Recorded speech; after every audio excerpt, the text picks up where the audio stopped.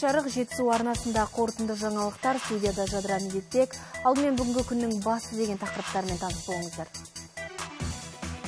ақындар шықты айтысқа. Алматыда жамбыл жабаевтың 170 жылдығына орай студенттер айтысы өтті. Көп жасаған қария ақылы теңіз дария. Жасы 94-ке келген бақтыбайлық балқия әжей ұзақ өмір сүрудің сыры еңбекте дейді сөз түзелер тыңдаушы сен де түзел. Талдықорғандық асабалар мен ақсақалдар бас қосып той мәселесін талқылады. Енді осы және өзге де ақпараттар толығырақ. Жастар Қазақстанды мақтан тұтады. Бүгін жас ұрпақты өз туған жерін сүюге, оны қадірлеуге шақыратын жалпы республикалық акция басталды. Ел тәуелсіздігінің 25 жылдығына арналған шарадан талдықорғандықтар да тыс қалмады.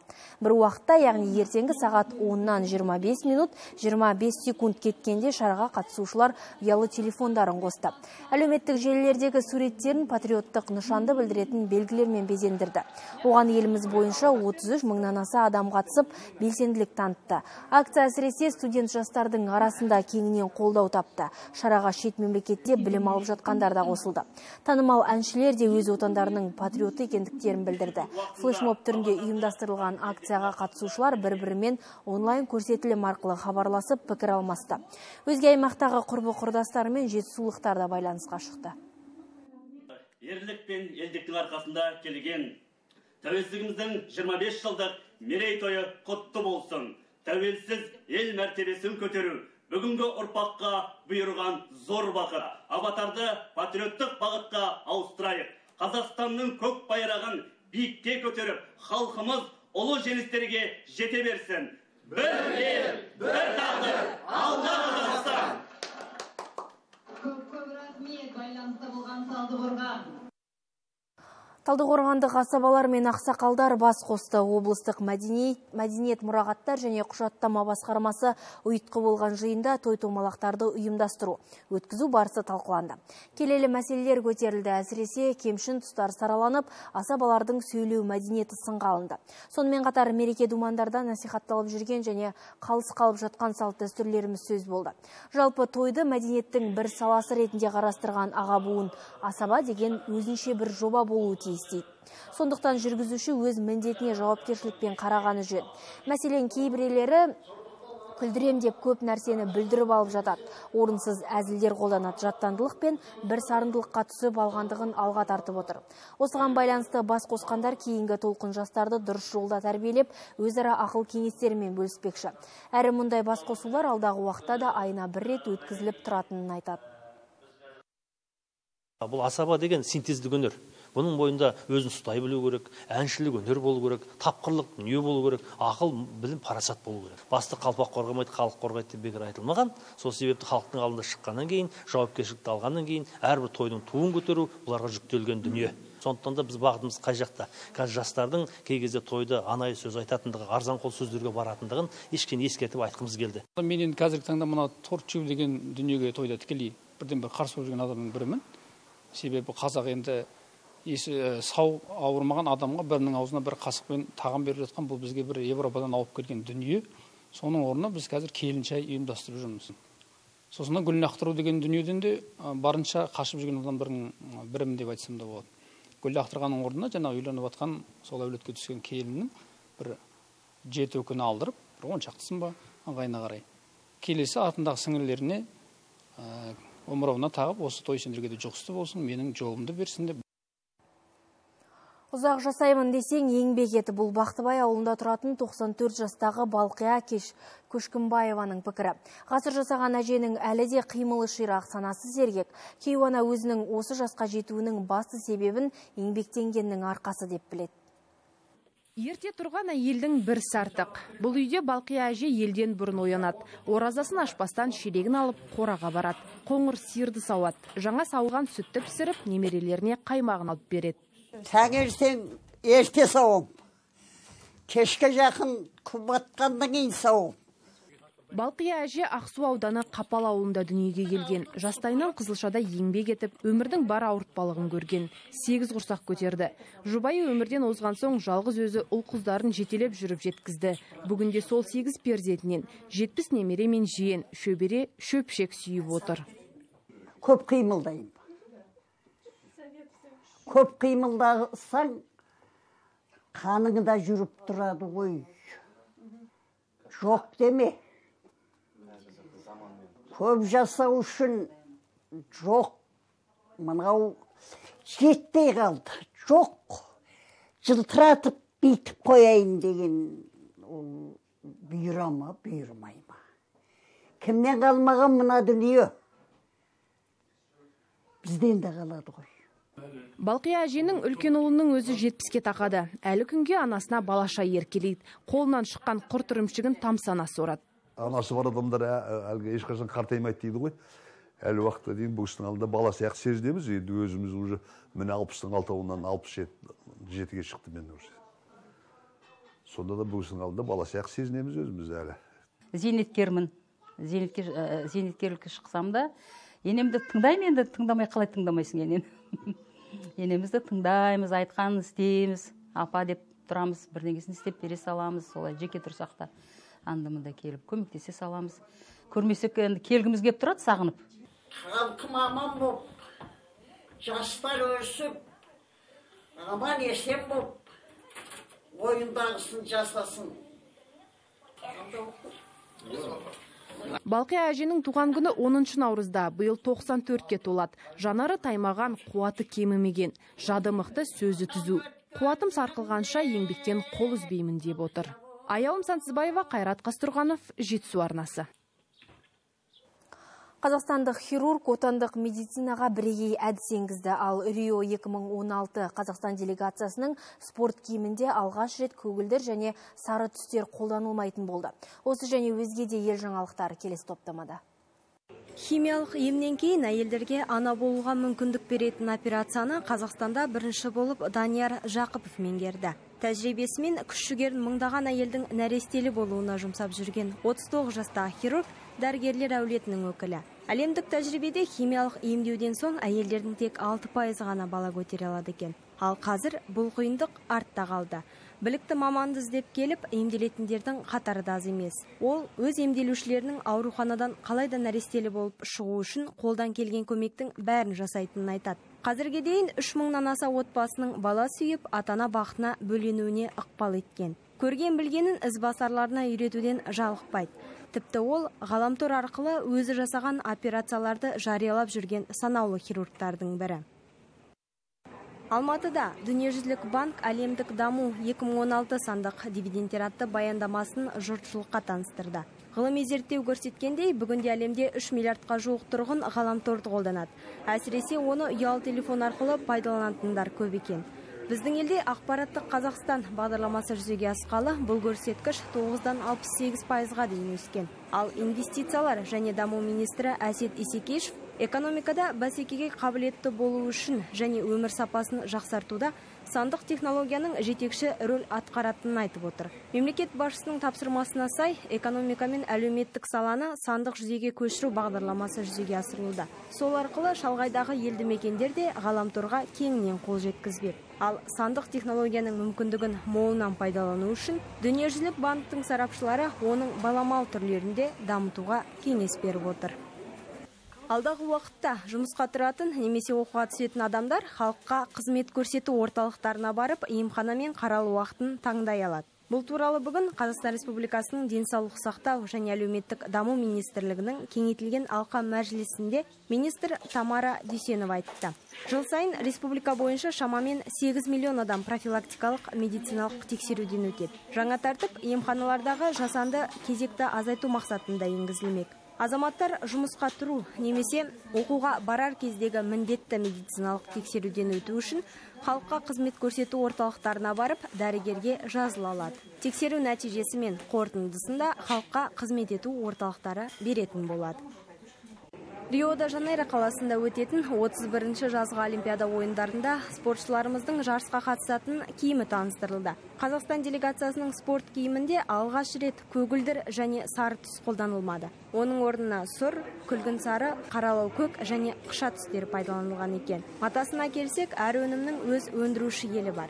Тайвань мен түркия. Олар спорт саласында шикізат өндіруге маманданған. Дизайнерлер стретч матасы мен жейделерге ауа өткізетін тесіктері бар мата қолданған спорт киімінің таныстырылымына ольга шишигина ермахан ибраимов серік сәпиев секілді олимпиада чемпиондары қатысты.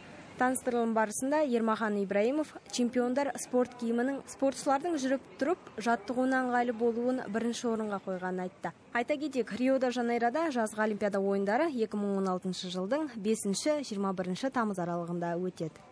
Ел жаңалықтары ғаламтор ақпараттарымен дайындалды аяулым бақытқызы жетісу арнасы Хабарымызды экономикалық шоушымыз Арайлым Таңатарғызы жалғастырады. Арайлым Экспо 2017 көрмесінен 300 миллион доллар пайда түседі деген ақпарат рас па? Рахмет Жадыра, я мұндай мәлімдемені парламент сенатының отырысында депутат Ольга Перепечина хабарлаған болатын.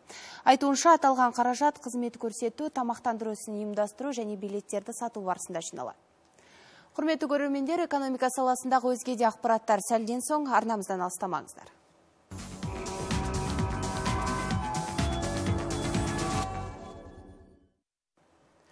Қазақстан даму банкі бірыңғай жинақтаушы зейнетақы қорынан 65 миллиард теңге қарыз алатын болды. Облигация түрінде ұзақ мерзімге берілетін қомақты қаражат 9 ірі жобаны қайта құрылымдауға жұмсалады. Оның ішінде Ақтөбедегі рельс арқалық зауыты да бар. Атап өтейік, биыл даму банкі өз кредиттік портфолин 20 пайызға арттырған. Яғни жоспарланған 943 миллиард теңгенің орнына 1,5 триллионға жетті. Сондай-ақ қаржы орталығы 14 500 миллиард теңгені автонесие ретінде беріпті. Осы мақсатта ұлттық қордан бөлінген 15 миллиардтың 87 пайызын, яғни 13 миллиардтың көлік иелеріне үлестірген. Қаржы саласын басқаруда Дубай тәжірибесін қолданған жөн.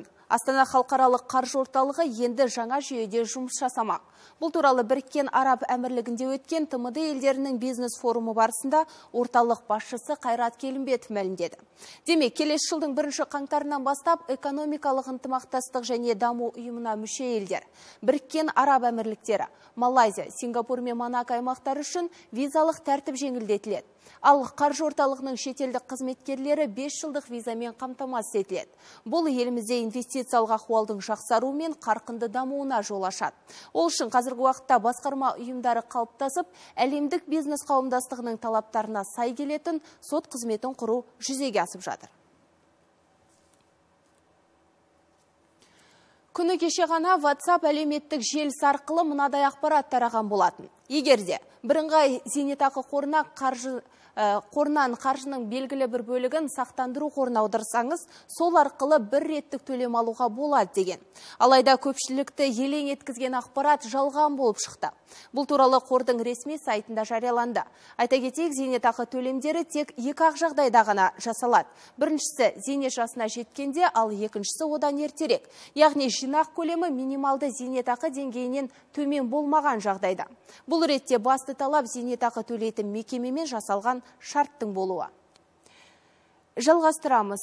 Әлемдік дағдарыстың дүмпуі Венесуэланы да тығырыққа. Бұл елдің ұлттық валютасы 59 пайызға құнсызданып, елде соңғы 20 жылда болмаған қымбатшылық орын алып жатыр. Әсіресе жанар жағармай бағасы бірден шарықтап кеткен.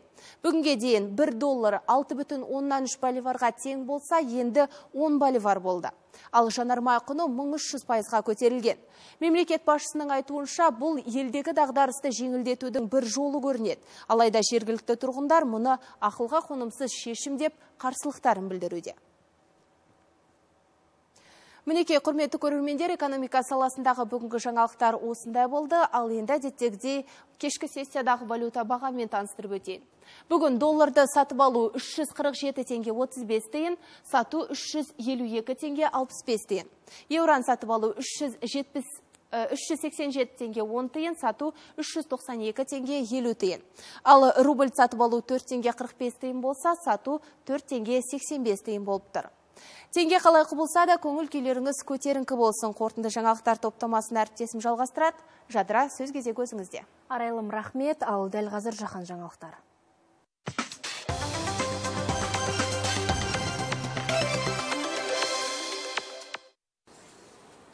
Түркия астанасы Анкара қаласындағы террорлық жарылыстан жарақат алған 61 адамның 30-ы ауруханадан шықты. Ал қалған 31-не тиісті медициналық көмек көрсетіліп жатыр. Ем дом қабылдап жатқан науқастардың ішінде әскерилердің де отбасы бар. Қазір олардың жағдайы бір қалыпты дейді мамандар. Естеріңізге сала кетсек оқыс оқиға 17 ақпанда ел астанасы анкараның орталығында. Яғни BBC және BMS мекемесі және 300 метр қашықтықта ішкі істер парламент орналасқан жерде болған еді. Лаңкестік әрекеттердің алдын алу үшін Түркияның қорғаныс министрлігінің Сирияның солтүстік аймағындағы шиеленіскен жағдайға байланысты шекара шебіндегі қауіпсіздік шараларын күшейтті. Түрік тарапы қос елдің түйіскен Килис провинциясы Акынжы ауылында биіктігі 3 метр болатын бетон қабырға тұрғызуды бастады. Құрылыс жұмыстары қарқынды жүріп жатыр. Анкара алғашқы кезекте шекараның 40 шақырымын тас қамал етіп қоршап бір жолы жауып тастамақ. Жалпы түрік үкіметі былтыр Сирия шекарасында қауіпсіздік қабырға жобасын қабылдаған болатын ақш президенті барак обама наурызда кубаға баруы мүмкін. Бұл туралы жергілікті бақ өкілдері хабарлап отыр. Осылайша ол куба төңкерісінен кейін бостандық аралына табан тірейтін алғашқы америкалық басшы болмақ. Дерек көздері бойынша сапар туралы ресми мәлімдемені ақ үй жанындағы ұлттық қауіпсіздік кеңес өкілдері арнайы брифингте жасауы тиіс. Ал осы жылдың басында обаманың сыртқы істер жөніндегі кеңесші бен ротс президенттің кубаға бару мәселесі жақын айларда шешіледі деп айтқан еді.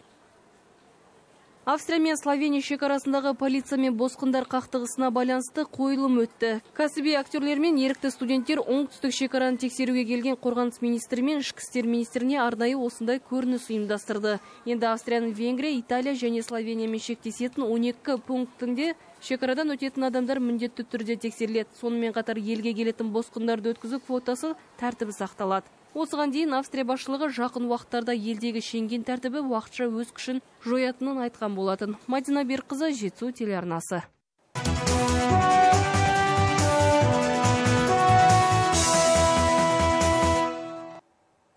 Бүгін Талдықорғанда әлемге танымал жазушы драматург Ролан Сейсенбаевтың кезекті кітаптар топтамасының тұсауы кесілді. Бұл жолғысы менің жүз кітабым атты сериямен жарық көріп отыр. Тіл сарайында өткен шарада оқырман қауымға Жүсіп Баласағұнның ақыл кітабы, Дешті қыпшақ жырлары, Әбу Насыр Әл-Фарабидің қайырымды қала кітаптар таныстырылды.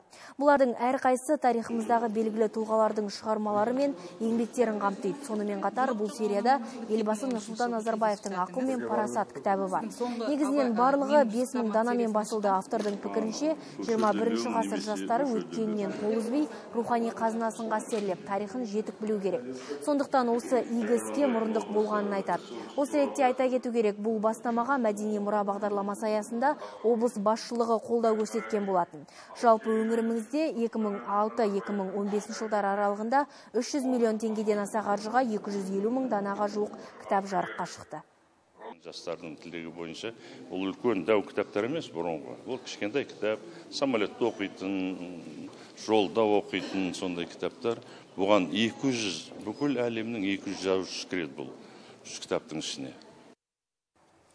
Ұлы дала жыршысы осындай атаумен Алматыда жыр алыбы Жамбыл Жабаевтың 170 жылдығына арналған студент ақындардың айтысы болды. Абай атындағы Қазақ ұлттық педагогикалық университеті ұйымдастырған жыр додасы Жамбыл атындағы Қазақ мемлекеттік филармониясында өтті. Онда күні кеше Абай атындағы білім ордасында іріктеуден өткен 8 жұп жұртшылыққа айтыс өнерінің бүгінгі бет алысын байқатты. Тақырыпты тілші толықтырсын.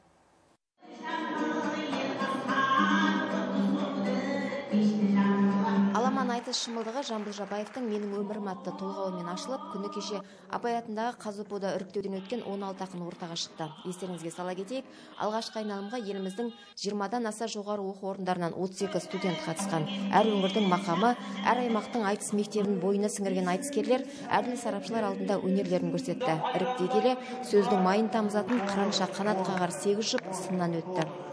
Жырағы жамбылға жүз жетпіс жыл әлемнің еліне сәтті арнаған қолына қос шекті домбыра алса сыры жоқ алашына ақтармаған жыры көп бізге жеткен кремльдің төрінде намаз оқып қазақтың қайсар ұлын қақ қолдаған қаншама жүріппін деп келгенменен оның көркем сөзді қалай өрнектейтіндігі тақырыпты қалай аша білетіндігі сүйінбай жамбыл дәстүріндегі қазіргі ақындар айтысының ертең болашағын танытатындай мүмкіндігі барлығын танытатындар іріктеліп ұсынылды.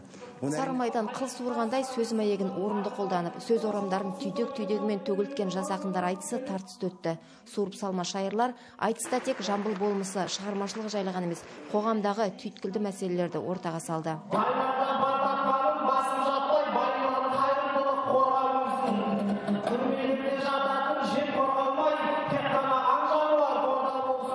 халықпен жұмыс жағы айтыскерлерге сол жағына жетіспей жатыр деп ойлаймын. Бірақ енді сөзден кетіп жатқан ақындар жоқ.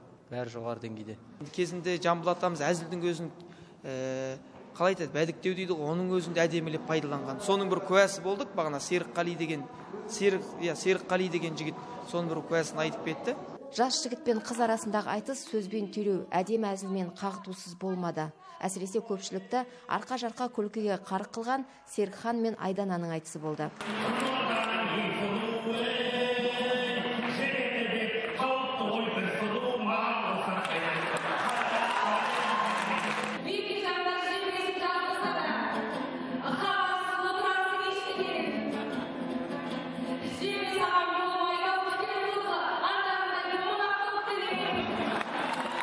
Жүйріктің ішінен су төгілмейтін боз жорғаны анықтау. Қазылар алқасына да оңайға түскен жоқ. Бірінің сөз саптауы екіншісінің суырып салмалығы үшіншісінің тапқырлығы тәнті етті бастысы ғасырдан жеткен ұлт өнері жалғасатынына күмәніміз жоқ дейді қазылар.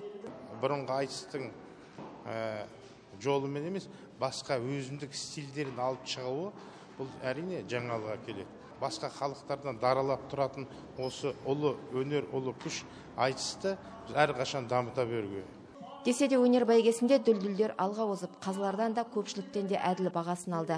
Нәрия ақбабақызы құлманбет атындағы рай дөнбаев сүйінбай ал айтбек тұрсынбаев қабан атындағы арнайы сыйлықтармен марапатталды. Әділ қазылар алқасының шешімімен айтыстың үшінші орны серікхан жүзеевке екінші орын айдана қайсарбекке бұйырса бірінші орынды нұрқанат қайрат иеленді. Ал бас жүлдені екі күндік айтыста суырып салма тапқырлығымен қазыларды да тәнті етіп көптің де қошеметіне бөленген қанат мырзахан еншіледі. Жамбылдың ізін жалғаған айтыс өнерінің барлық қатысушыларына ұйымдастырушылар атынан алғыс хаттар мен ақшалай сыйлықтар табысталды. Жазира исаева степан мерешко жетісу телеарнасы. Өлең қонған өр ақын періштелі кең ақын. Мұхамеджан тынышбаев атындағы тарихи өлкетану музейінде мұқағали мақатаевтың 85 жылдығына арналған әдеби кеш өтті. Онда жиылған қауым ақиқ ақынды еске алып рухына тағзым етті.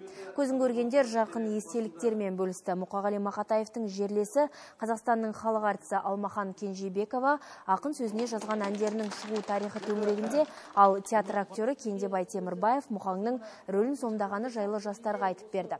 Ал ізбасарлары ақын өлеңдерімен қатар өздерінің арнауларын жырларын оқыды. Музей директорының айтуынша бүгін бастау алған ақшамдағы әңгіме жобасы аясындағы кездесулер әр айдың 18-інде өтіп тұратын болады. Мәселен наурызда жыр алыбы жамбылға сәуірде дала академигі атанған нұрмолда алдабергеновке арналған кештер ұйымдастырылмақ. Түзу түзу тілінген аңыздай. Аңызыма неге нәр тамызбайын? Қара қазақтың қаза болса қара көзден неге жас ағызбайын? Ақынмын деп несіне айта аламын халқымның өз айтқанын қайталадым. Кірпік қазақтың қара шекпен жауып өзіне келешек ұрпаққа біз 21 ғасыр мұхаңның өзі айтпақшы құрдасы болғандықтан біз келешек бәлкім одан кейінгі елдің туысымын деді ғой сол туыстарына өзінің немерелеріне келешек ұрпаққа біз үлгі ретінде мұқағали мәңгі біздің жүрегімізде өлді деуге бола ма айтыңдаршы өлмейтұғын артынан із қалдырған демекші мұқағалидың сол өлеңдерін мұқағалидың өзінің бір күнделігінде айтады екен сендер мені тану үшін сендер мені тану үшін менің өлеңдерімді рет ретімен оқып шықсаңдар сендер мені толығымен танисыңдар дейді. Сол біз келешек ұрпаққа сол мұқағалиды таныту ретінде мұқағалиды білу ретінде бүгінгі шараны біз атап отырмыз.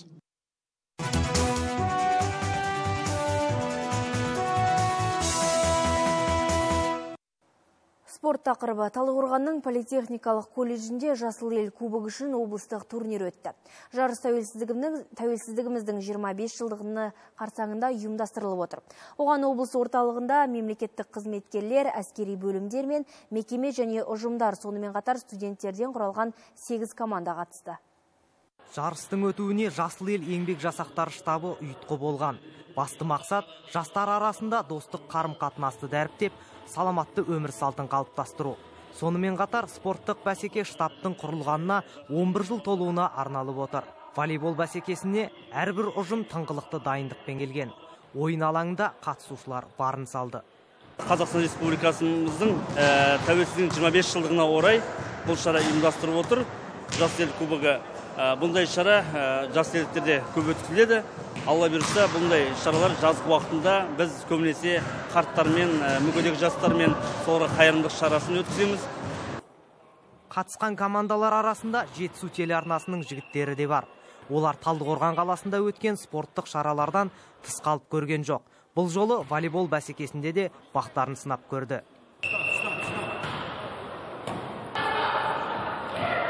Ұйымдастырушылардың айтуынша мұндай спорттық ойындар осымен ғана шектелмейді. Алда шағын футбол үстел теннисі сияқты командалық сайыстарды өткізу жоспарда бар. Жарқын нұрланұлы айдар назарлы тимур байбосынов жетісу телеарнасы. Қазақстандық дзюдошы Дидар Хамза European Open халықаралық турнирінің алтын медалін жеңіп алды. Ал Индияда теннистен өтіп жатқан Challenger New Delhi турнирінде отандасымыз Дмитрий Попко ширек финалға өтті. Осы және өзге де жаңалықтармен спорт шоушымыз таныстырады австрияның абервард қаласында өтіп жатқан турнирге әлемнің 48 елінен 242 дзюдошы жиналған. Дені әлемдік додаларда ол жасалып жүрген мықтылар. Осындай бәсекесі жоғары жарыста жерлестеріміздің асығы алшысынан түсті. 73 келі салмақ дәрежесіндегі балуанымыз дидар хамза қарсыластарын айқын басымдылықпен ұтып жарыс жеңімпазы атанды. Дзюдошымыз ақтық сынға дейін румыния австрия мысыр балуандарын жеңсе финалда бразилиялық маркело кантинидің жауырын жер ескетті жүлде қоры елу мың долларды қамтитын жарыс дмитрий попко үшін оң нәтижемен басталды. Ол сайыстың бірінші күнінен ақ жүйелі ойын өрнегін көрсетіп қарсылас шақ келтірмеді. Алғашқы айналымда жапон спортшысын ұтса екінші айналымда италиялық роберто маркорудан жетіде алты алтыда үш есебімен басым түсті. Спортшымыздың ендігі мақсаты жарыс жеңімпазы атану. Оның келесі қарсыласы турнирдің үшінші ракеткасы стефан роберто мен австриялық бенжамина мичела арасындағы кездесу анықтамақ. Түркияның белік қаласында таеквондодан халықаралық турнир өтті. Жарысқа әлемнің үздік 1500 спортшысы қатысты. Бұл сында жерлестеріміз де өнер көрсетіп елімізге олжамен оралды. Қыздар арасында айнұр еспергенова 49 келі салмақта күміс медальға қол жеткізсе ерлер бәсекесінде алмас мұқамыров пен ержан абылқас қола жүлдеге ие болды. Айдар назарұлы жетісу телеарнасы. Бүгінге осы назарларыңызға рахмет. Эфирде жүздескенше аман сау болыңыздар.